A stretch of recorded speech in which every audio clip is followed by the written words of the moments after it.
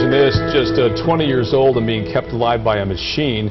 Dylan Peterson's heart failed and he needed a desperate transplant. While waiting for a donor, an artificial heart was pumping blood to vital organs in Dylan's body. Mary Nichols with more in tonight's Check Your Health report.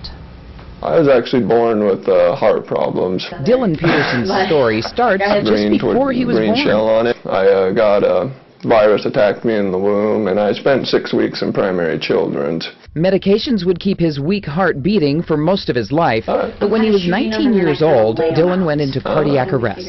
Had my pacemaker was a defibrillator also, so it kept cardioverting me back.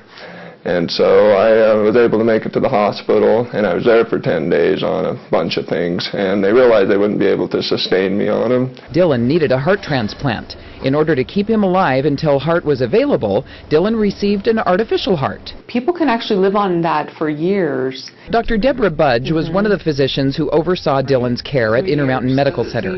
She says the artificial heart will continue to pump blood to vital organs until a patient gets a new heart. Nowadays, more and more people are needing some kind of mechanical or machine support for, just because it takes so long to find a, a suitable donor. Dylan spent months in the hospital waiting You for a look at the donor. doctor Then one there. day, his doctors got the call that a heart was available.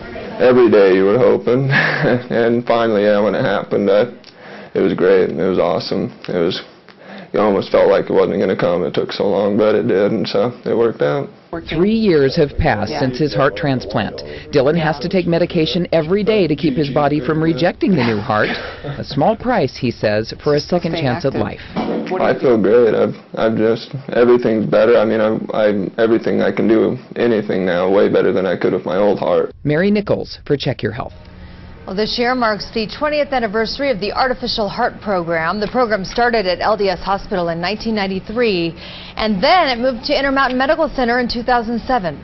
For more information, go to our website at KUTV.com and then click on the Check Your Health link.